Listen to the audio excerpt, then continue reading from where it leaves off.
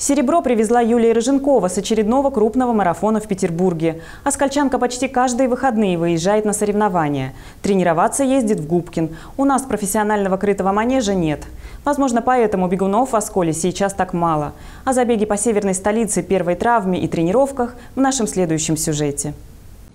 Пока тепло, почти каждые выходные старооскольские спортсмены выезжают на соревнования. В этот раз крупный турнир проходил в городе на Неве. Это закрытие бегового сезона от команды Пушкин Ран. Довольно крупное соревнование.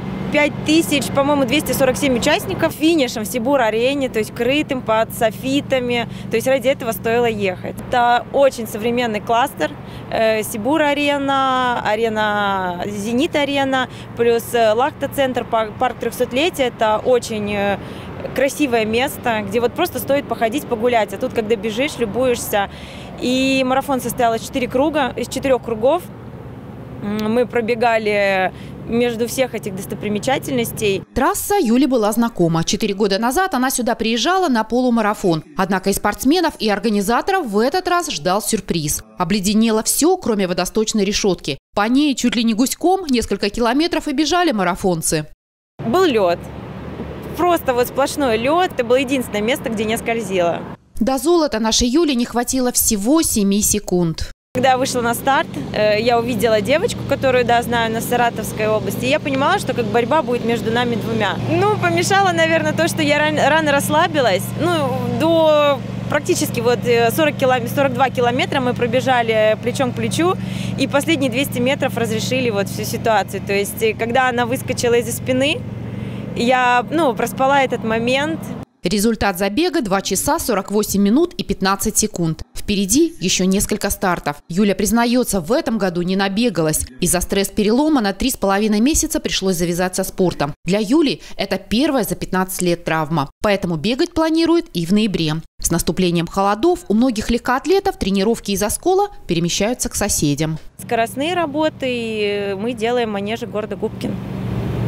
Почему Губкин, почему не Оскол? Ну, потому что Оскол...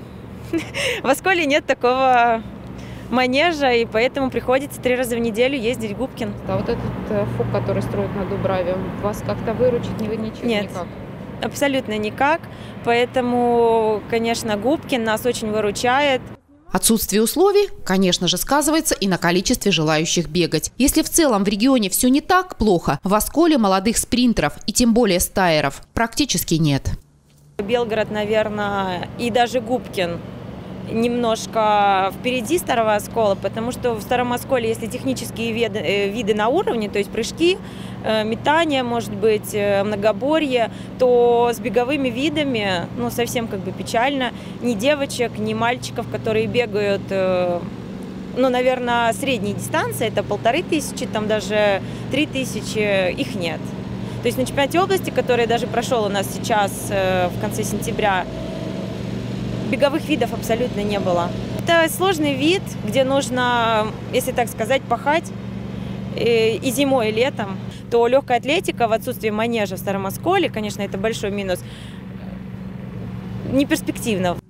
Что пока медали в город идут только за счет опытных спортсменов. Следующие старты у Юли уже в ближайшие выходные в Железноводске. Спортсменам предстоит пробежать 25 километров по горам. Лариса Ульяненко, Евгений Левошко, Илья Самсонов, Девятый канал.